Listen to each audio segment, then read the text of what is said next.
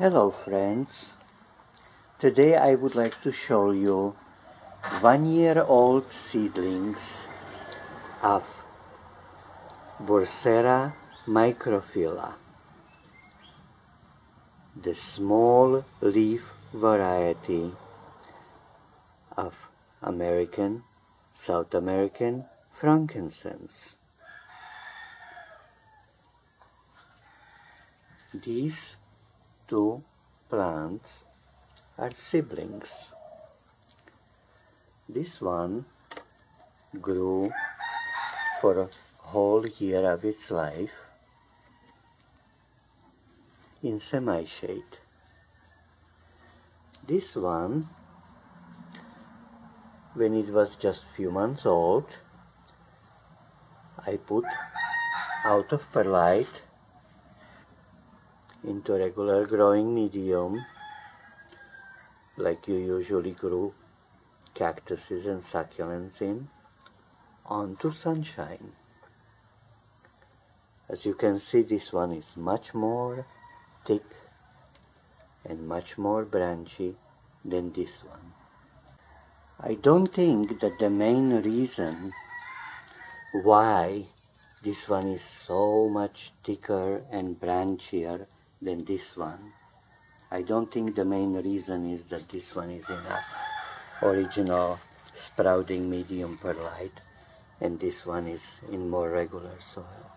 I think the main or perhaps only reason is that this one was in full sun which is natural for desert plants. So I guess today I'm gonna move this one on sunshine too.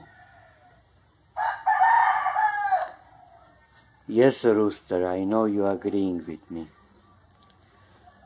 On another related subject, Bursera microphylla is very hard to grow from seed many, many seedlings die on beginning as opposed to my other variety of Bursera, which is Bursera faragiodes. Here is how the seedling look. I just planted wherever and it just grows. The first leaves are very, the sprouting leaves are very similar to Bursera microphylla, but then the real leaves are much larger. This is how they look. The seedlings of a the seeds of a Bursera microphylla, I have to baby a lot and still only about one out of ten survives the child childhood, early babyhood. Let me show you. Here they are and you can see already this one is dying. In this tray. Two are still alive, but many already died. In this tray, only one or two cling to life. In this tray, only one is surviving still. In this tray, none of them. Every two weeks lately, I was planting one tray, and uh, as, as the seeds ripen on my old one. And uh, this is the result. Here are the oldest seedlings of this year. And four survived. This one already has a real leaves. This one is dying. So that's why I super treasure the two one-year-old that are healthy and growing. This is the mother plant. You see it still has plenty seeds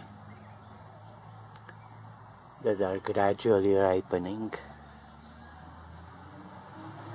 But I'll be lucky if I get one or two plants out of it.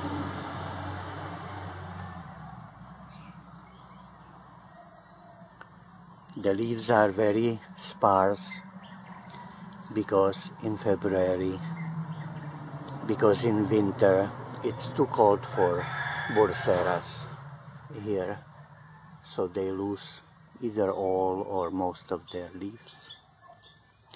Also, I think the plant is wasted having so many seeds.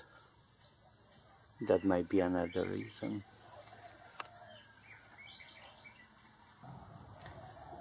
Okie dokie.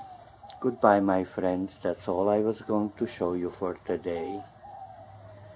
The effect of light on seedlings of Bursera microphylla. Small leaf American frankincense. And until next time, goodbye.